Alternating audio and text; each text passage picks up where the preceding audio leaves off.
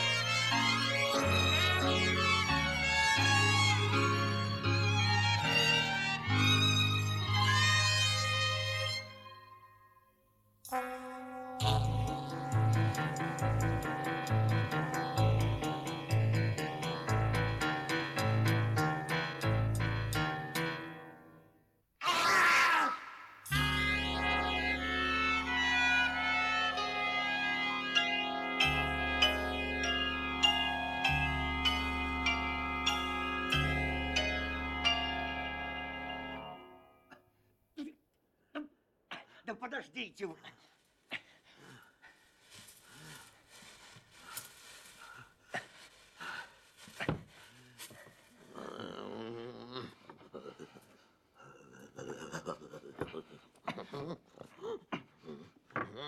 Руки.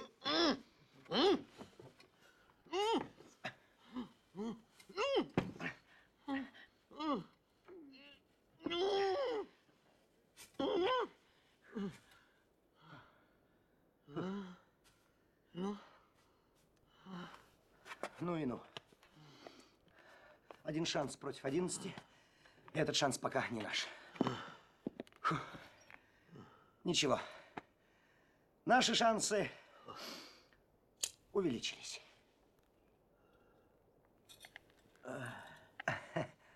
Вдове этот, этот стул обошелся больше, чем нам. А, Пошлые вещи. Согласитесь, я не могу покинуть любимую женщину, не оставив о ней никаких воспоминаний. Заседание продолжается, фельдмаршал. С вашего решения мы направляемся в музей мебельного мастерства. В Москву.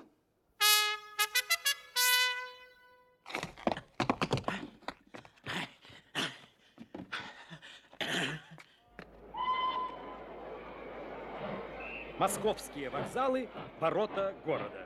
Через Александровский вокзал входит в Москву иностранец в костюме для гольфа. С Курского попадает в Москву рослый волгарь в пеньковой бороде, с Октябрьского выскакивает полуответственный работник с портфелем. Представители Киева и Одессы проникают в столицу через Брянский вокзал. Концессионеры с трудом пробились к выходу и очутились на Каланчевской площади. Часы Октябрьского вокзала показывали 5 минут 11 на часах Ярославского вокзала было ровно 10, на часах Рязанского без пяти 10. Очень удобно для свиданий. Москва меня совершенно не радует. Все время думаю о мебельном музее, все время переживаю. Как, что и вообще обойдется ли? Вам, предводитель, давно уже пора лечиться электричеством. Не устраивайте преждевременные истерики. Однако, куда мы пойдем? К хорошим людям в Москве их масса и все мои знакомые. Что, у них можно остановиться? Да.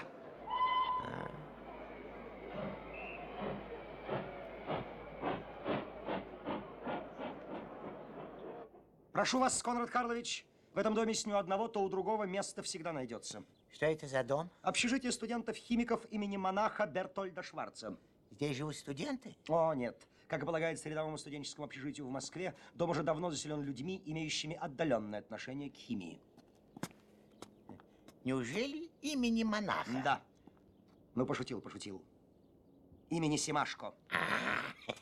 Милости просим, гофмаршал.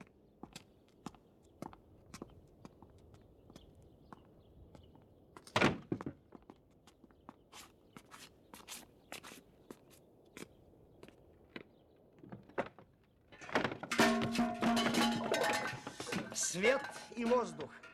Это должно быть где-то здесь.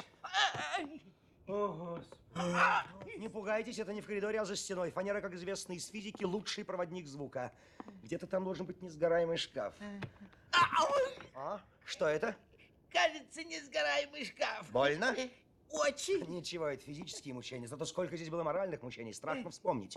Где-то здесь стоял скелет, собственно, студента Иванопола. Он купил его на Сухаревке, а в комнате держать боялся. Посетитель вначале ударялся об кассу, а потом на него падал скелет. Беременные женщины были очень недовольны. Кажется, это здесь. Ты дома, Коля? Только и слышишь целыми днями «Коля, Коля, ты дома, Коля!» Опять к этому дураку в гости с позаранку пришли. У, Да дай ты ж человеку поспорь! тут у нас как же? Кольки из милиции пришли за вчерашнее стекло! Слышите? Нам рады. Да-да, войдите. Картина, представившаяся взору Остапа, при внешней своей невинности была ужасна.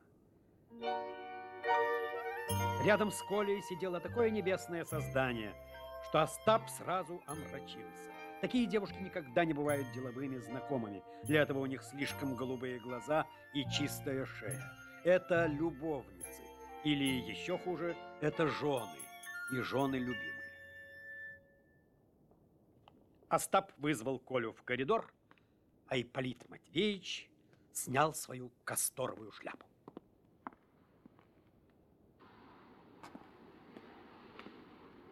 Прекрасное утро, сударыня. Садитесь, пожалуйста.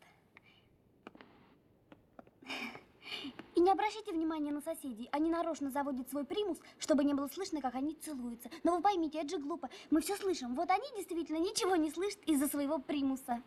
Ну что ж, Коля, если тебе решительно нельзя остановиться, пойдем к Пантелею. Верно. Верно, ребят, идите к Иванову. Он, он свой парень. Приходите к нам в гости. Мы с мужем будем очень рады. Да, приходите.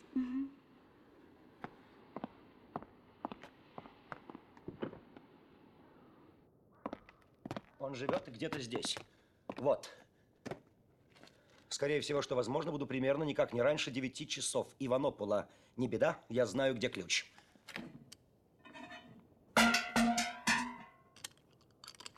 Прошу.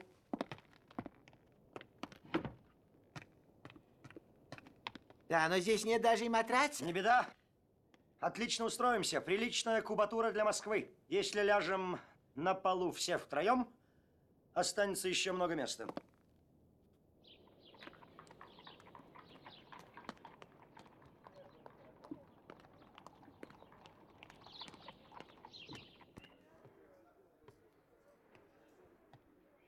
Нет, эта вещь неинтересная.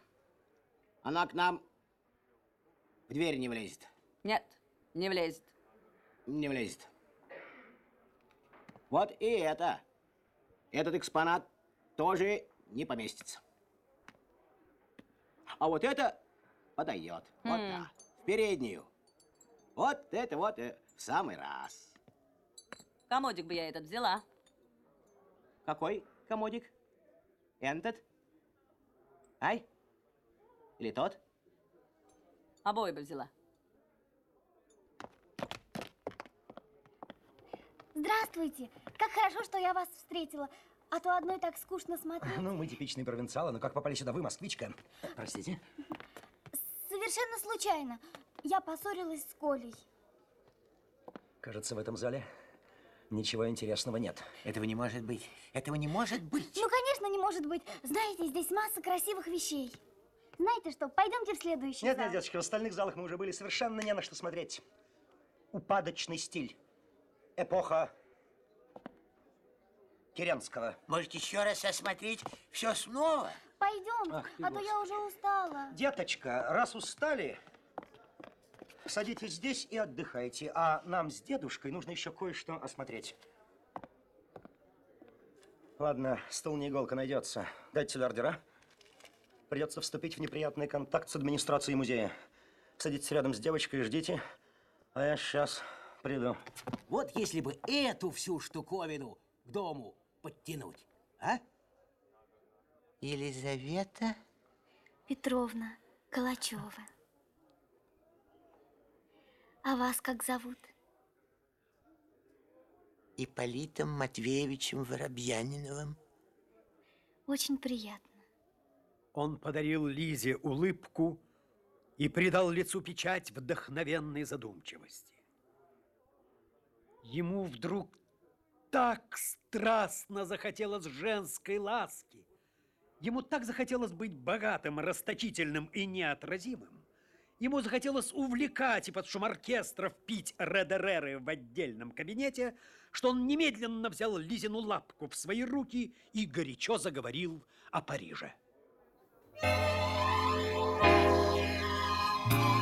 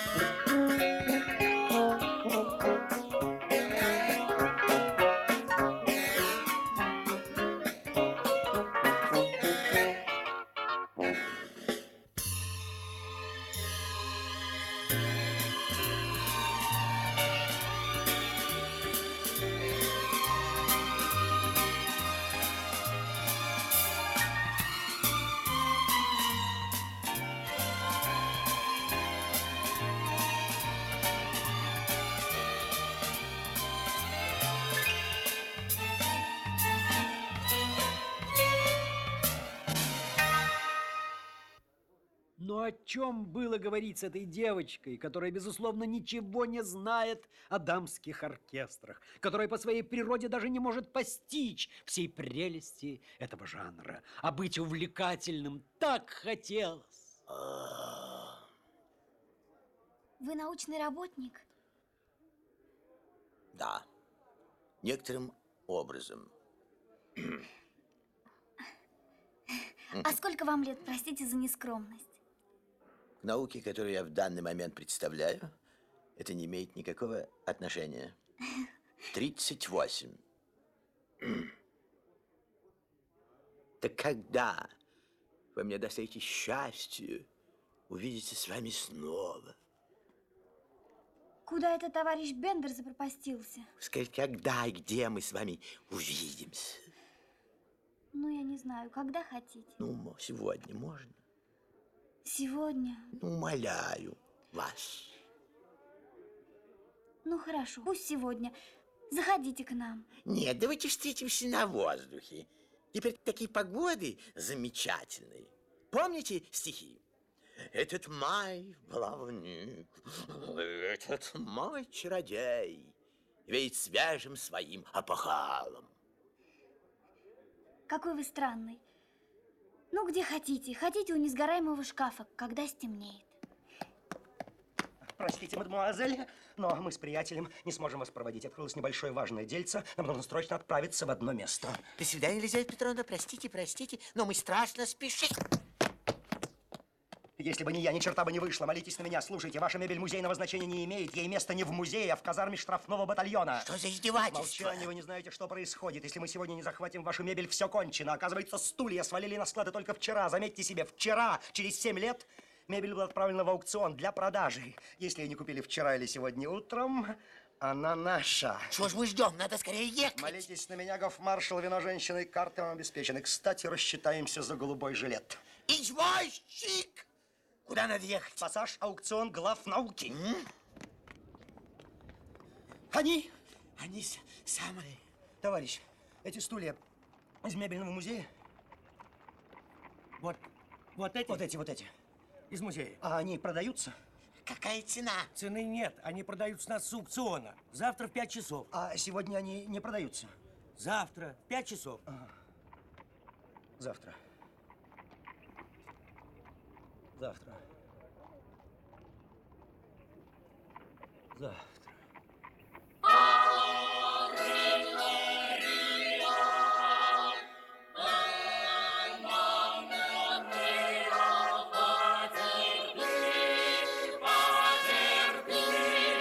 Завтра.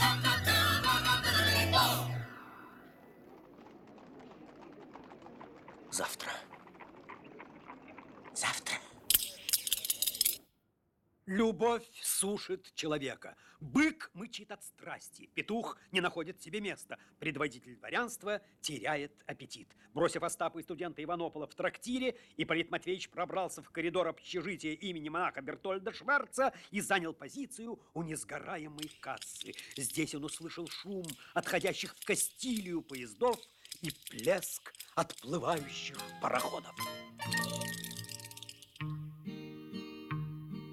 Дремлет испанская сьерра, Дремлет кастильская стража. Чу, шевельнулась портьера, Чу, отворилось окно. Выйди ко мне, Донна Белла, Здесь тебя жду я давно. Небо Испании в лунном сиянии Нас не заметит никто. Черные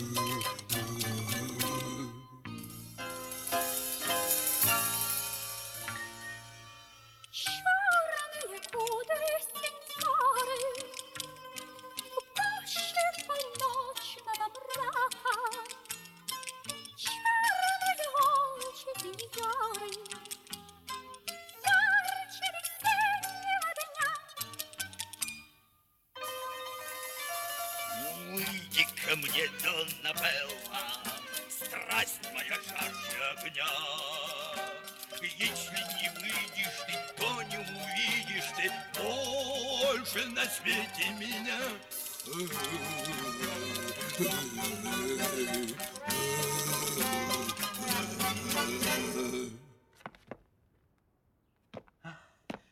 Это вы, Елизавета Петровна? Где мы будем гулять? Не знаю.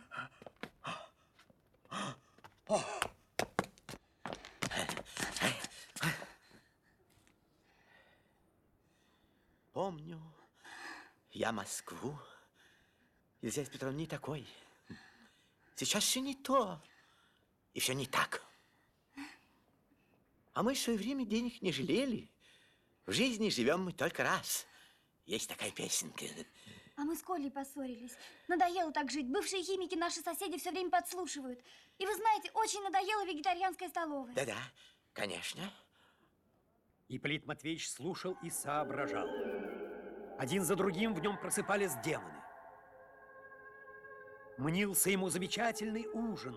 Он пришел к заключению, что такую девушку нужно чем-нибудь оглушить. Поедемте для начала в театр. Драматический. Лучше в кино. В кино дешевле. Такая ночь.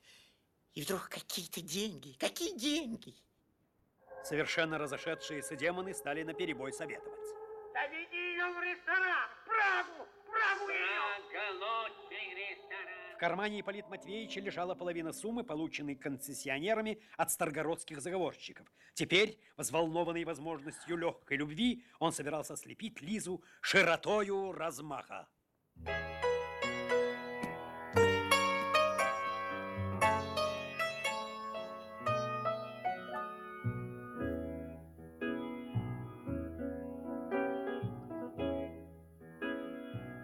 Прага поразила Лизу обилием зеркал, света и цветочных горшков. Лизе это было простительно. Она никогда еще не посещала больших образцово-показательных ресторанов. Но зеркальный зал совсем неожиданно поразил и Ипполита Матвеевича. Он отстал, забыл ресторанный уклад. Теперь ему было положительно стыдно за свои баронские штиблеты с квадратными носами и штучные довоенные брюки.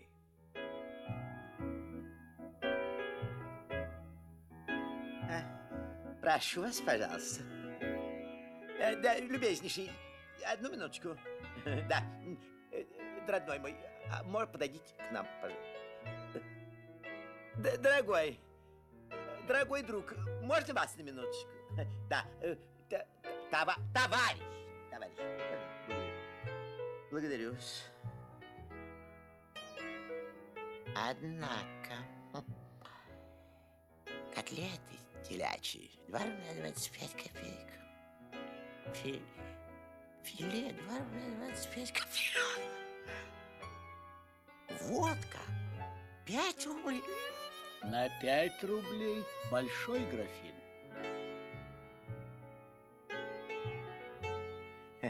Вот, пожалуйста, не угодно ли выбрать? Что вы будете есть? Лизе было совестно. Она видела, как гордо смотрел официант на ее спутника и понимала, что он делает что-то не то. Я совсем не хочу есть. А? Или вот что. Скажите, товарищ, у вас нет ничего вегетарианского? Подошедший официант с интересом посмотрел на Лизу, после чего стал топтаться, как конь. Вегетарианского не держим. Разве что омлет. Ага. Так вот, дайте нам сосисок. Э, Вы ведь будете есть сосиски, Елизавета Петровна? Буду. Так вот, Гордо сказал Ипполит Матвеевич. сосисок по рубль 25 копеек. И бутылку водки. Водка будет в графинчике. Тогда большой графин.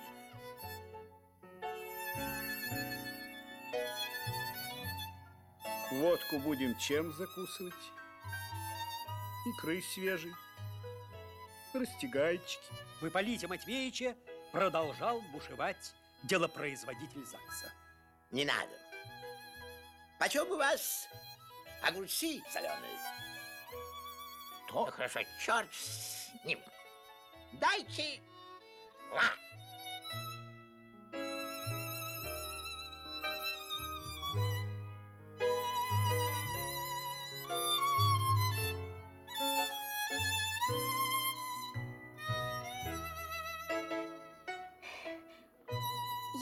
Никогда не была. Здесь очень мило. Да. Протянул Ипполит Матвеевич, высчитывая стоимость заказа.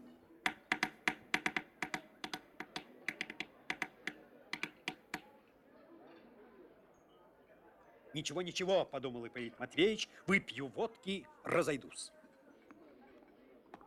Дорогие друзья, ну и вот мы опять с вами вместе. Следующим номером нашей концертной программы выступит мировая исполнительница русских народных песен, хорошо известная в Марьиной роще, Варвара Ивановна Годлевская. Вопросы?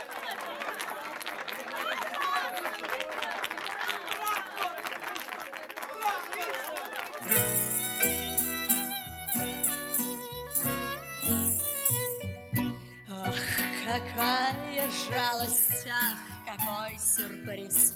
Нельзя себе позволить, нельзя себе позволить, нельзя себе позволить ни шалость, ни каприз.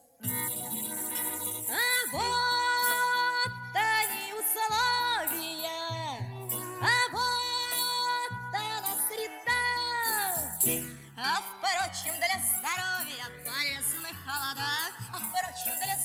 здоровья полезны холода. Робкие стремления, скромный аппетит, а сердце, тем не менее, а сердце, тем не менее, а сердце, тем не менее, возьмет да пошалит.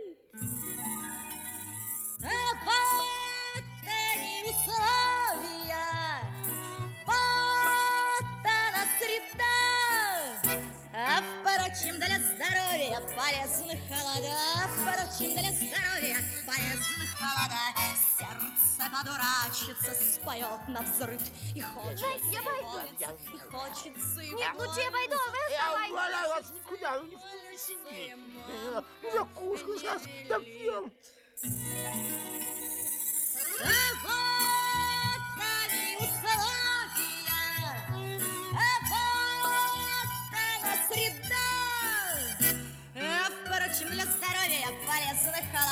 а впрочем, для здоровья полезны холода.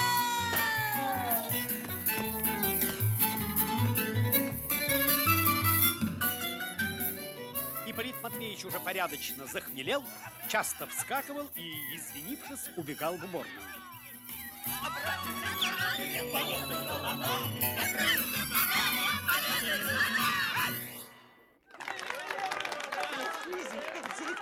Петровна, Я пойду, а вы, пожалуйста, оставайтесь. Я сама дойду, правда? Никуда вы без меня не пойдете. Я сейчас же расплачусь с ней. Мы идем вместе. Сеньор?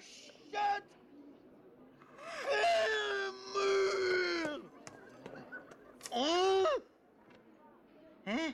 10 рублей 20 копеек. Может, вам дать еще ключ от квартиры, где деньги лежат? А?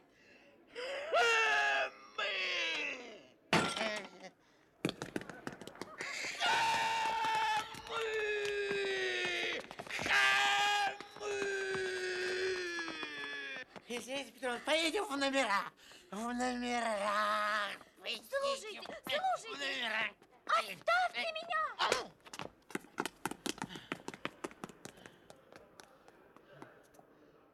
Поедем в номера.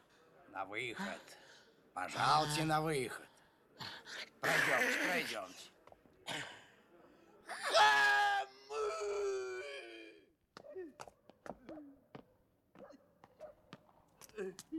Поедем в номера. Раздосадованный Ипполит Матвеевич долго плакал. И еще плача купил у старушки все ее баранки вместе с корзиной. После этого он вышел на Смоленский рынок, пустой и темный, и долго расхаживал там взад и вперед, разбрасывая баранки, как сеятель бросает семена. Затем Ипполит Матвеевич подружился с ночным сторожем и раскрыл ему душу. 12 стульев называется. В общем, бриллианты ищем. Бриллианты. Папаша, в стульях. Но, но как? Спарываем каждый стул. Каждый стул. Да, но предупреждаю. У нас длинные руки. Веселый вы парень, Да, веселый. но не, но не барин. Отец русской демократии. О, понимаю. Гигант мысли. Лед тронулся, господа. Несчастные. Да, господи, не, не, не, не, не, голой, не, не, не, бо- не.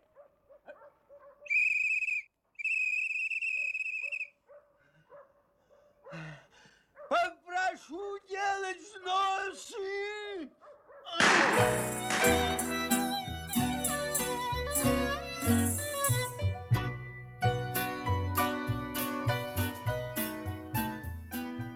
Э, по- Поедемте в номера. Сейчас поедем. Поедемте.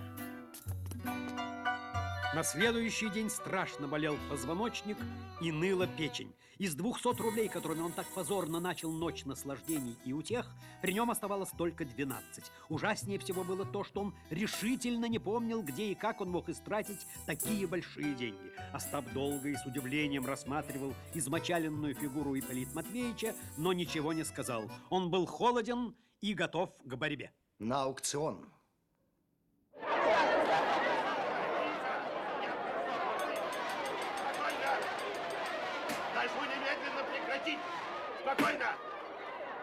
Продолжаем торг. Тихо, граждане, тихо. Охотник, стреляющий в диких уток. Тихо. Охотник, стреляющий в диких уток. Семь с полтиной. Восемь рублей даю. Восемь пятьдесят! Девять! Девять пятьдесят! Одиннадцать! Одиннадцать рублей раз, одиннадцать рублей два, одиннадцать рублей три. Продан охотник, стреляющий в диких уток. Фигура, изображающая правосудие. Бронзовая. В полном порядке. Пять рублей. Кто больше? Купите, предводитель.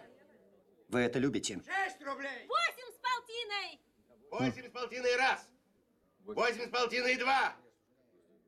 Восемь с полтиной три.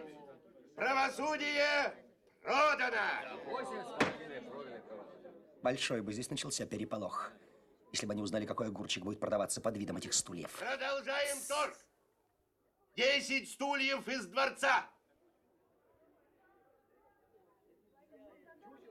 Почему из дворца? Сидите вы, не рыпайтесь. Десять стульев из дворца. Ореховые. Эпохи Александра Второго.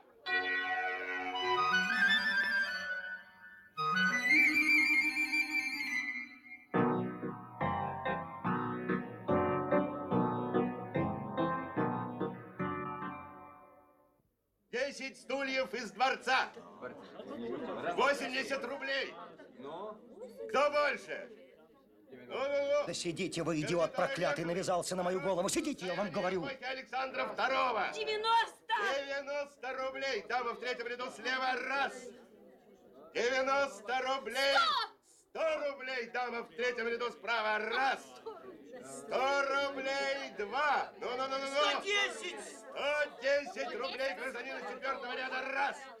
110 рублей. 120 рублей гражданин в четвертом ряду. Раз. 120 рублей. Чего ж вы не торгуетесь? Ну, Пошел вон. 130 рублей. Два. Сто сорок пять! 145. В пятом ряду слева. Раз. 145. Два. Сто сорок пять. Три.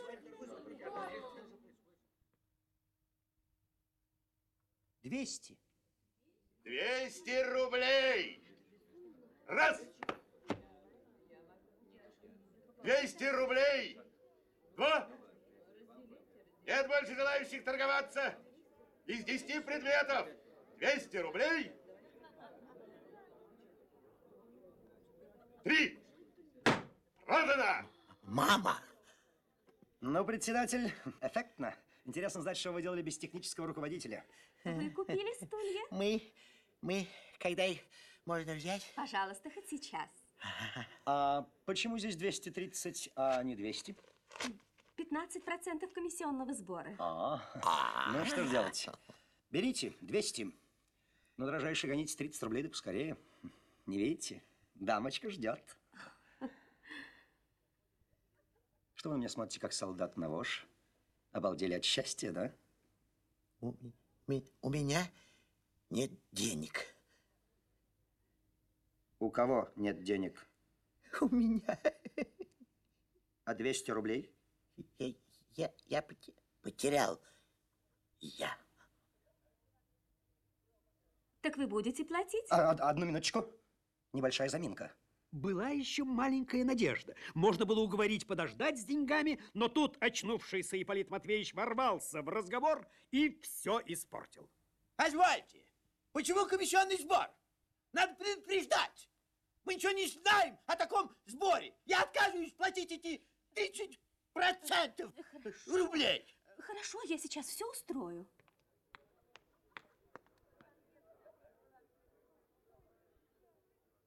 По правилам аукционного торга, лицо, отказывающееся уплатить закупленный им товар, должно покинуть зал. Торг на стулья отменяется. Я попрошу вас покинуть зал. Эффект был велик. Таких ударов великий комбинатор не испытывал давно. Попрошу вас выйти.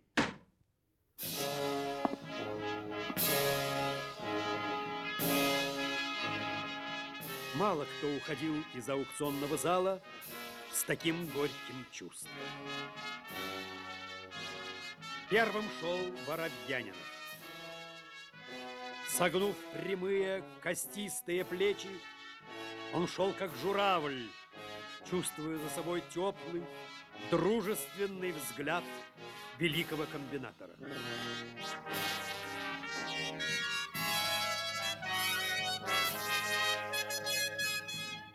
Путь в аукционный зал был прегражден. Остап дружественно молчал. Возмутительные порядки, форменное безобразие. В милицию на их нужно жаловаться. В милицию. Действительно, за какие черт знает, что такое? Сдерут с трудящихся в три дорога! Дай бог, из какие-то подержанные 10 стульев 230 рублей. С ума можно сойти. Пра- Правда? С ума можно сойти. Вот тебе милиция. А? Вот тебе дороговизна стульев для трудящихся всех стран. Вот тебе ночные прогулки по девочкам, вот тебе седина в бороду, вот тебе без в ребро. За все время экзекуции Ипполит Матвеевич не издал ни звука. Со стороны могло показаться, что почтительный сын разговаривает с отцом, только отец слишком оживленно трясет головой. Ну, а теперь пошел вон. Товарищ, товарищ Бендер. Товарищ Бендер. Иди, иди, Хованопола не приходи, выгоню. Товарищ Бендер. Все пропало. Что пропало? Стулья продаются поодиночке, вот что. Но вы, дамский любимец, стойте здесь и смотрите, кто и что. И чтобы ни один стул не ушел, поняли? Я попробую связаться с беспризорной агентурой.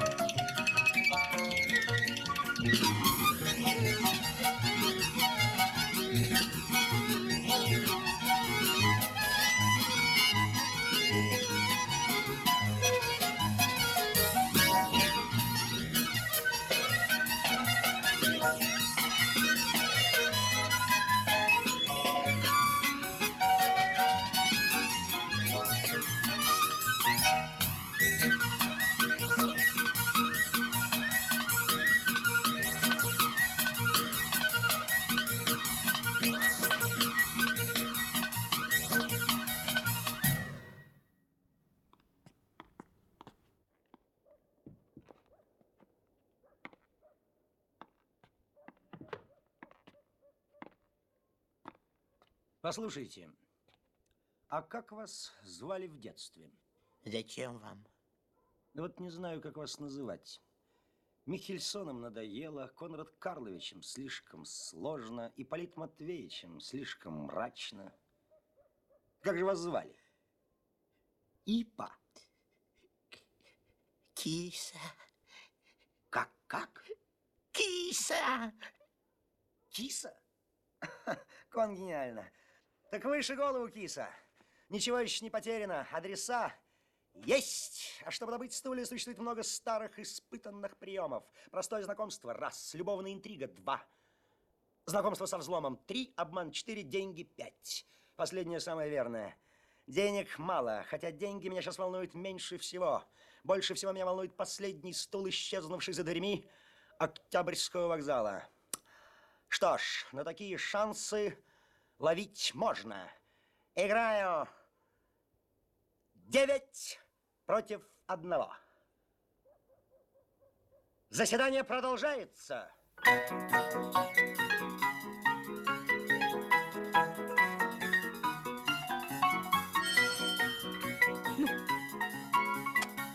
Ну, блеск. Блеск. Ну, красота. Словарь Вильяма Шекспира по подсчету исследователей составляет 12 тысяч слов. Словарь негра из людоедского племени Мумба-Юмба составляет 300 слов. Элочка Щукина легко и свободно обходилась 30.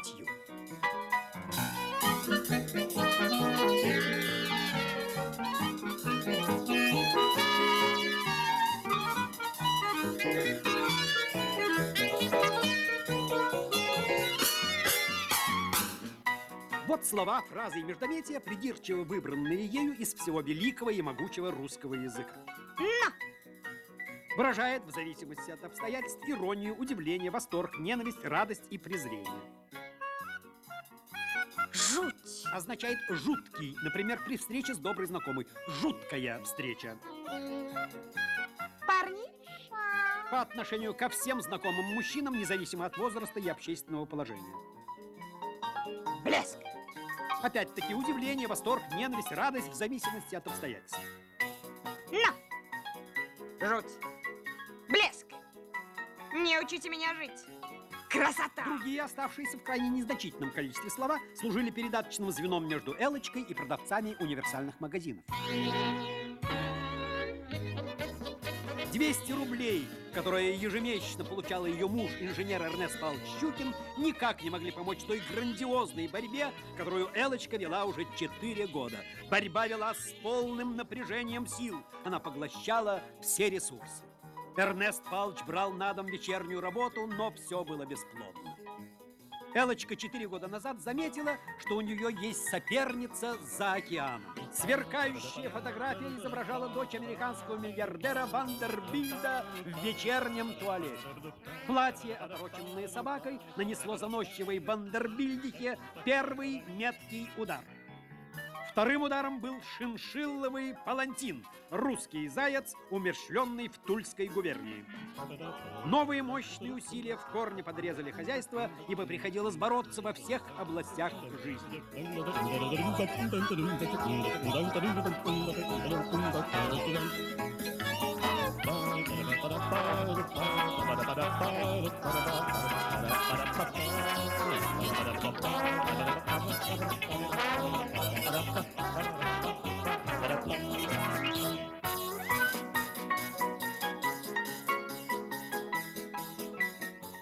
Не спрося с мужа, Элочка взяла деньги из обеденных сумм и купила на аукционе два мягких стула.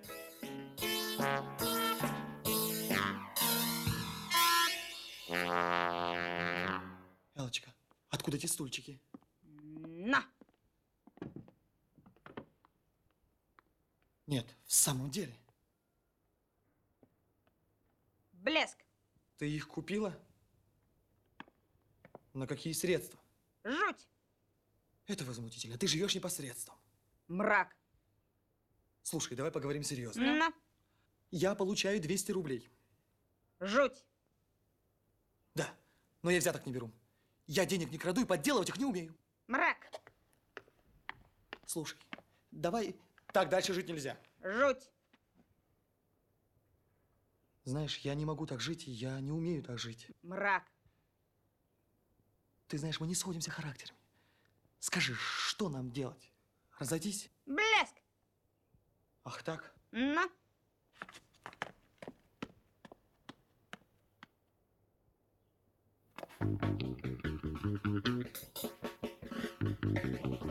Кажется, будут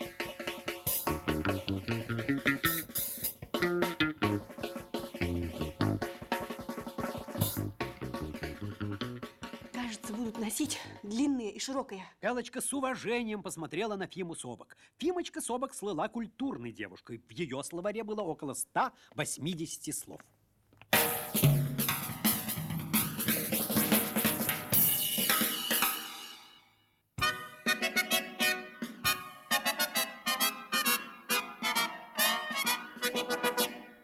Ровно в 10 часов утра великий комбинатор вошел в Арсенофьевский переулок, дом 8. Он появился в дверях, совершенно не думая о том, под каким предлогом он войдет. Для разговоров с дамами он предпочитал вдохновение.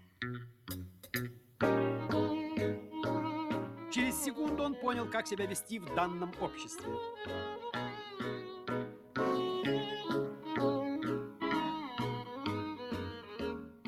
Какой у вас прекрасный мех. На.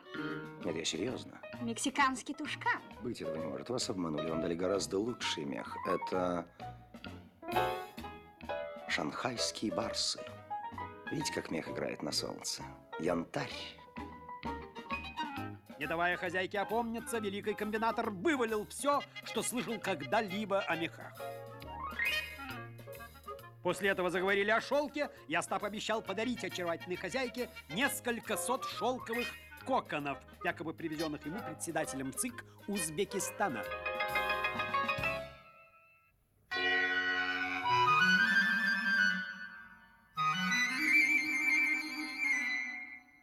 Вас, конечно, удивил ранний визит неизвестного мужчины.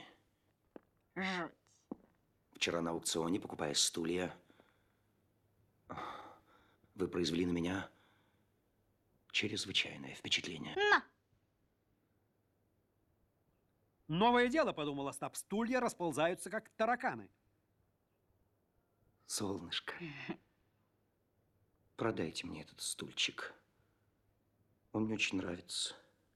Только вы с вашим женским чутьем могли выбрать такую художественную вещь.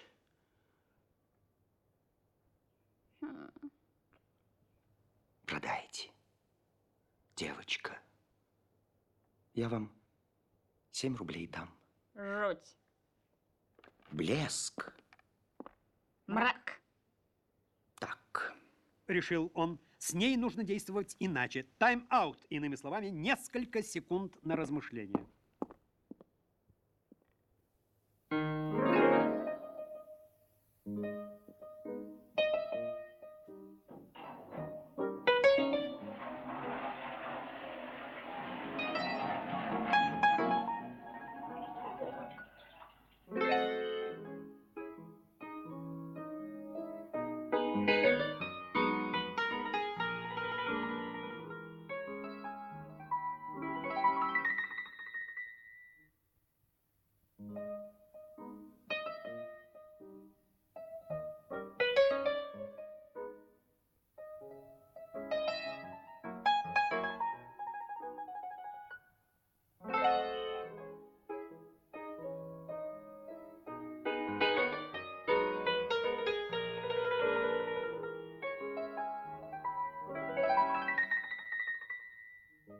Знаете, сейчас в Европе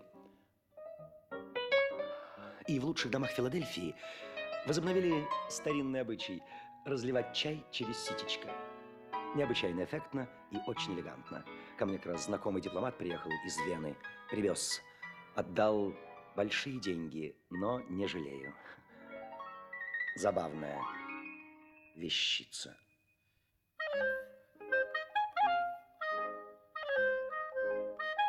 На Элочку вещь произвела такое же неотразимое впечатление, какое производит старая банка из-под консервов на людоеда племени Мумба-Юмба. В таких случаях людоед кричит полным голосом, Элочка же тихо застонала. Значит, обмен. Ну. Не дав ей опомниться, Остап положил ситечко на стол, взял стул и, узнав у очаровательной женщины адрес мужа, галантно раскланялся.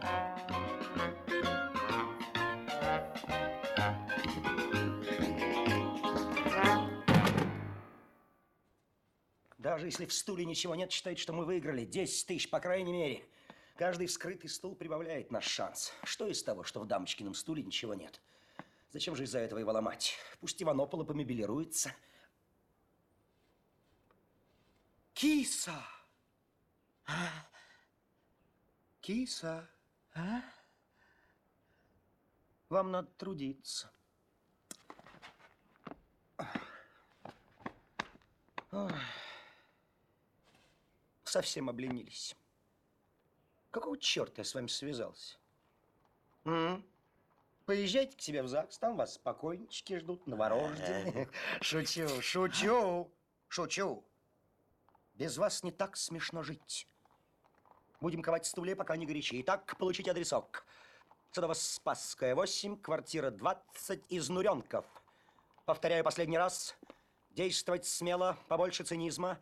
Людям это нравится, но без уголовщины. Кодекс мы должны чтить. Повторите. Кодекс должны чтить мы. Хорошо. И без стула не возвращаться. Я иду по другим адресам. Марш вперед! Труба зовет! Что еще? Кон гениально. Нет. Жизнь – это сложная штука. Нет. Заседание продолжается, господа присяжные заседатели. Получается. Умница.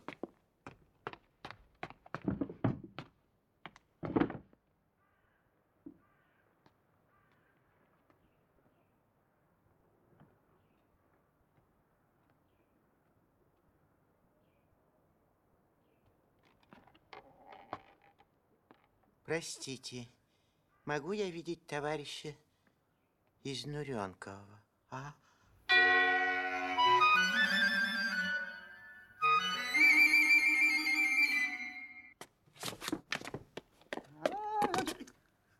Вы сошли с ума.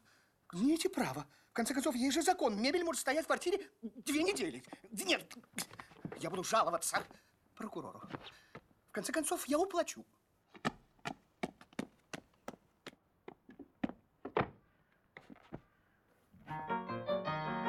Поймите, я не могу с этим согласиться. И потом виноват не я, а сам Муспред. Да, я не платил за прокат пианино. Но ведь я его не продал, хотя имел полную возможность. Я поступил честно. А они подали в суд и описали мебель. Как это называется? Простите, служба такая. Ну, хорошо, значит, договорились. Мебель отбирать у меня сегодня не будете. Бюрократы! Ну, дайте лапку. Вот вам полтинничек. И не возражайте. Каждый труд, солнышко, должен быть у нас оплачен. Служба Абсолютно такая. Простите. Служба. Служба такая. Будьте здоровы. О, да, Всего вам доброго. До свидания. Я вам говорю, служба такая. Да-да-да, я понял, понял. Хорошо, хорошо.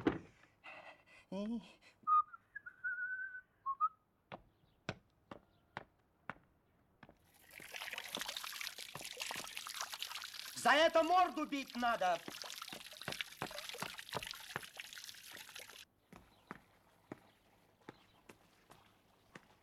Вместо того, чтобы плакать, пошли бы лучше в баню. В таком виде вы похожи на пикадора. Ключ. Что ключ? От квартиры. М, Где деньги лежат? Нет. Ключа нет, а дверь захлопнулась. Я начал мыться, пропала горячая вода. Я хотел поз позвать дворника. И вот. Не беда.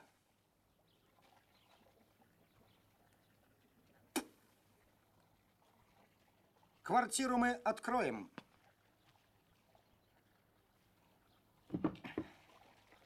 Прошу.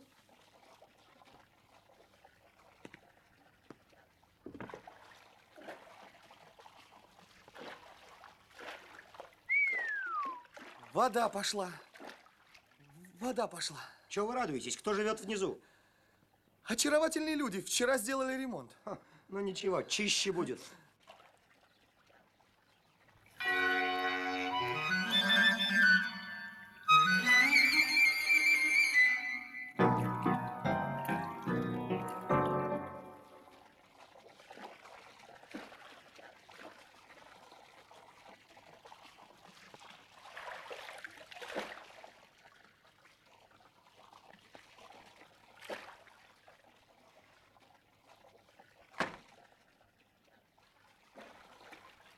Ну, вы меня просто спасли. Вы инженер Щукин? Да. А я ведь к вам по делу. Чрезвычайно рад буду вам служить. Ай, сущие пустяки. Ваша жена просила меня зайти к вам и взять стул, он ей нужен для пары. Завтра она пришлет к вам кресло. Ну что вы, что? Ну зачем же вам себя утруждать? Ну я, я же сам ей принесу Да завтра. ну. Ну, ну я сам ей принесу. Ну, сущие пустяки. Нет, нет, нет, нет, ну, ну что вы, что, что? Ну, ну, ну, ну, давайте я вам хотя бы помогу. Ну я донесу до ворот, мне не Но трудно. Если это не трудно, и только до ворот. Я прошу вас. Спасибо вам. А, всегда пожалуйста. Спасибо вам. Я вам так благодарен. Не стоит благодарности. А мои инструкции? Мои инструкции. Сколько раз я вам говорил, что красть грешно. Еще тогда в Старгороде, когда вы пытались обокрасть мою жену, мадам Грицацуеву. Уже тогда я понял, что у вас мелкоуголовный характер. Для гиганта мыслей и отца русской демократии масштаб мизерный киса. Что, а, я приношу уже третий стул, а вы? Мебель, которая была у вас в руках, выскользнула. Выскользнула. Вот что, дорогуша, я вижу полную бесцельность нашей совместной работы. Во всяком случае, работать с таким малокультурным компаньоном, как вы, из 40% представляется мне абсурдным. Волен с неволен, я должен предложить новые условия. Друг мой, вы больны. Да, болен. Организационным бессилием и бледной немочью. Соответственно, этому уменьшается ваш пай. Честно. Хотите 20%? Почему же вы не хотите? Вам мало? Ну, это же 30 тысяч рублей. Сколько же вы хотите? Согласен на 40. Это грабеж среди бела дня. Помните тот исторический торг в Дворницкой? Вам мало 30 тысяч? Может, вам еще ключ от квартиры? Это вам нужен ключ от квартиры. Хорошо. Я покажу вам, как надо работать. Я сам заберу этот стол.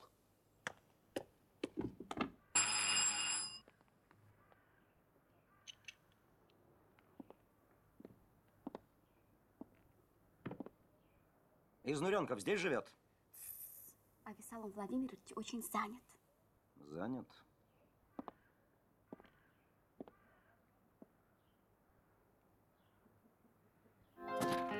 Об Авессаломе Владимировиче Изнуренкове можно было сказать, что другого такого человека нет во всей республике.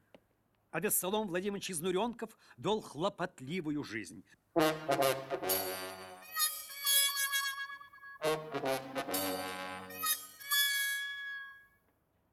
Вы прошли над моими гремящими шумами, словно пчелы из меня. Чего же неверно? Столько лет вы думали, любить или нет меня? Вы, вы королева Марго. Ну, ешьте шоколад, умоляю вас, ешьте. Боже, какие ручки, а! Какой нос, боже, какой нос. Я умоляю... Это вы?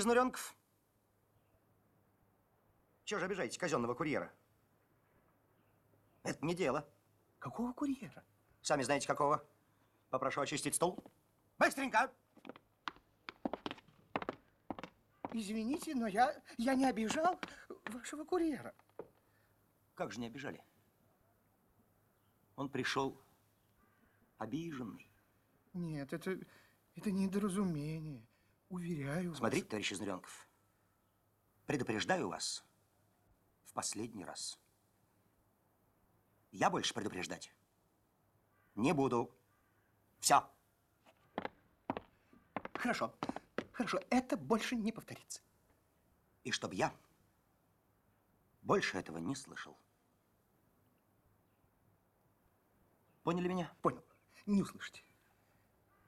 Я сделаю необходимые выводы. Вы мне верите? Дверь откройте.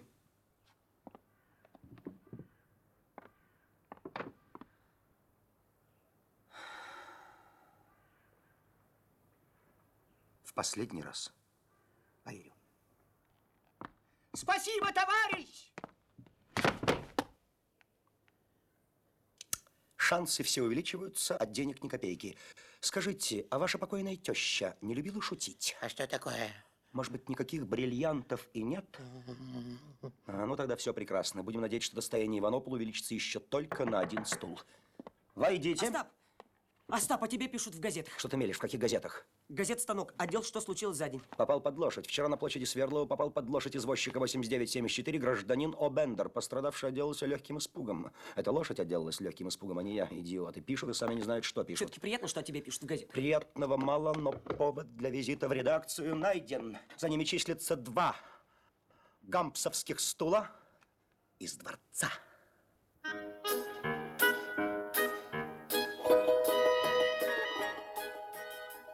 Визит гражданки Грицацуевой к Елене Станиславне Болх не внес успокоения в метущуюся душу вдовы. Елена Станиславна метала карты с возмутительной небрежностью. Карты возвещали то конец мира, то прибавку к жалованию, то свидание с мужем в казенном доме, то в присутствии недоброжелателя, то в присутствии пикового короля. Но само гадание кончилось неожиданно и трагически. Попугай Елены Станиславны вдруг заговорил человеческим голосом. Вам полку служили. Сказала птица.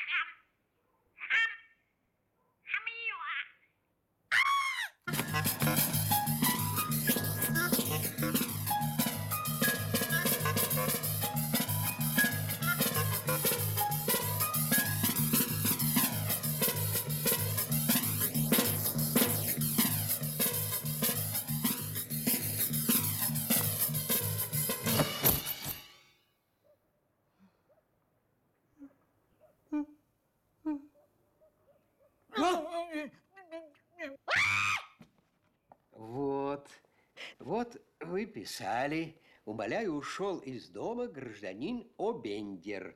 Так вот это и так далее, значит. Это пишут старгородские газеты.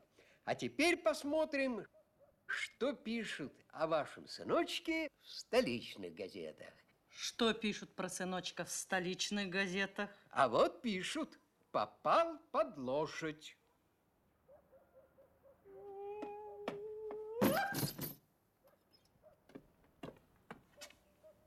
Да не убивайтесь вы, не убивайтесь. Жив он, живой, живой, живой.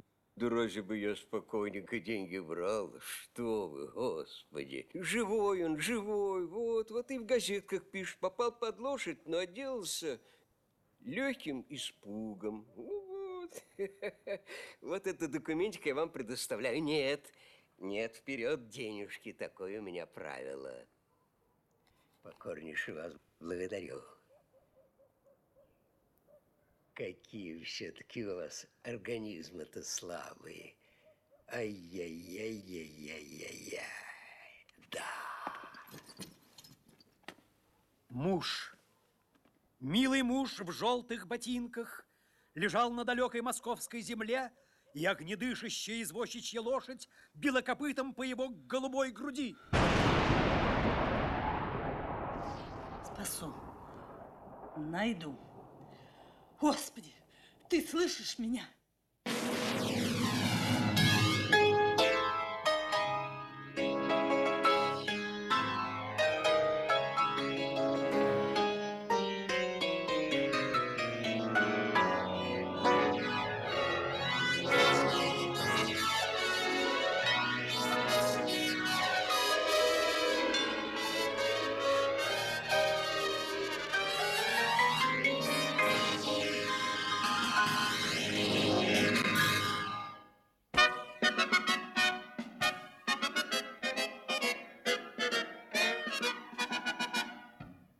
Временем в гулкие коридоры редакции газеты «Станок» ступила нога великого комбинатора.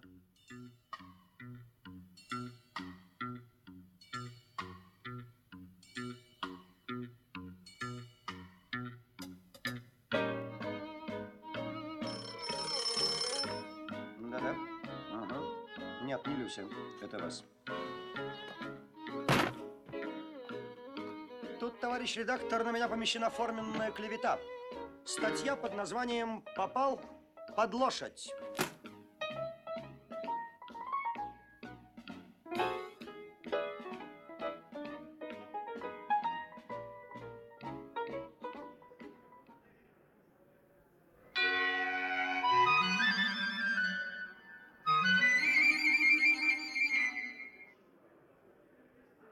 В чем же вы, товарищ, видите клевету?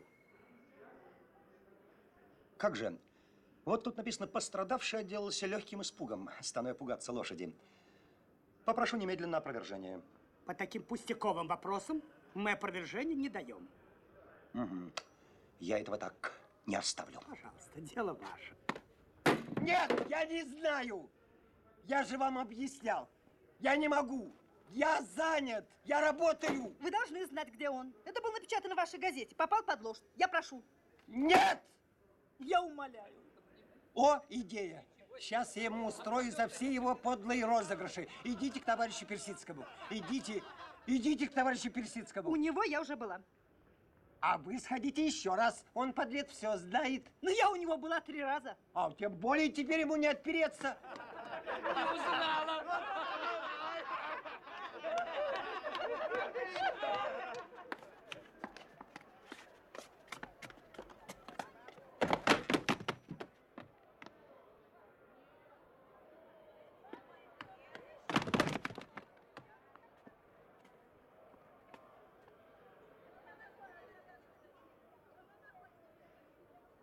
Умоляю. Умоляю, адрес. Чей? О Бендера. Ну, я же вам уже много раз объяснял, что я не знаю никакого о Бендера. А ваш товарищ много раз говорил, что вы знаете. Не знаю. Знаете. Ну, не знаете. знаю. Знаете. Не знаю. Ну, не знаю, не Вы знаю. должны знать адрес, в конце-то концов. Ну, может, там хоть вспомните. В желтых ботинках. В Москве еще 200 тысяч в желтых ботинках. Не приставайте ко мне, оставьте меня в покое. Да-да, войдите. Э, Не приставайте, не приставайте, не приставайте ко мне. Вдова ринулась по коридору и вдруг увидела брюнета в голубом жилете и желтых ботинках. Товарищ Бендер. Дальнейшие события показали, что в планы технического руководителя концессии не входила встреча с любимой. Куда же вы?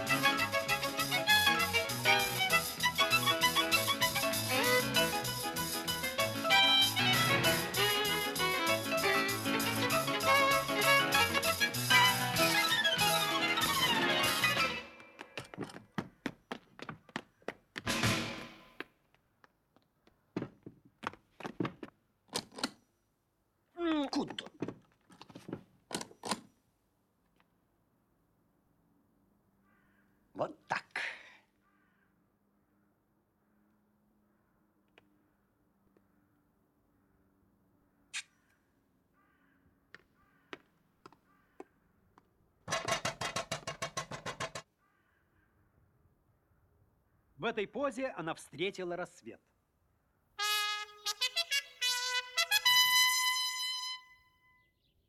Был тихий час, когда утро еще молодо и чисто. В этот час Грицацуева услышала шаги в коридоре. Вдова живо поднялась и припала к стеклу. Ветренный сын турецко-подданного, стряхивая из пиджака пылинку, приближался к стеклянной двери. Товарищ Бендер! Вы еще здесь? Я здесь, здесь! Ну что ж ты не идешь ко мне, моя курочка? Мой суслик, ну открой же скорее дверь, ну скорее! Тише. Девушка, к чему такие необузданные желания? Женщину украшает скромность. Кто тебе жить мешает? Да, сам уехал, а сам спрашивает. Я ждала-ждала, торговлю закрыла, за вами поехала. Изменщик, чтоб тебе лопнуть. Брошь украл мужнин подарок, физичка спер, стул унес. Зачем стул украл? Зачем украл стул? И это вы называете кражей. В таком случае наши взгляды на жизнь диаметрально противоположны. Согласен на развод. Прощай. Любимая. И разошлись, как в море корабли.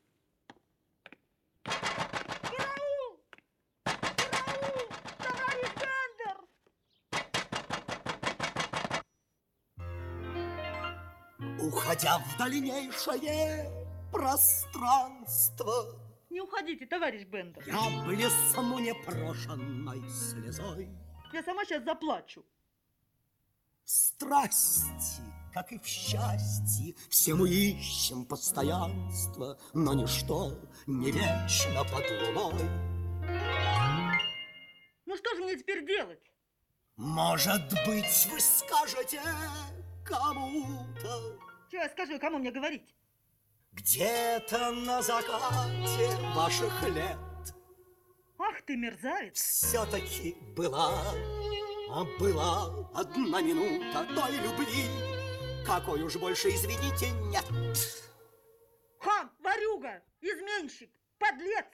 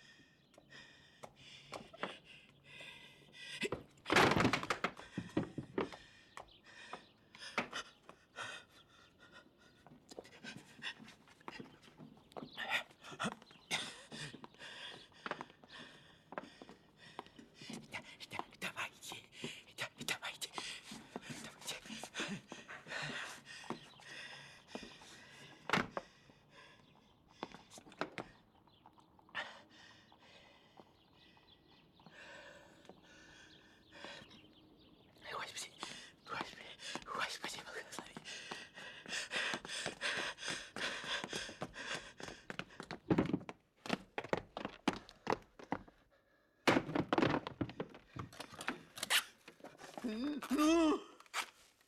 Ну! Ну!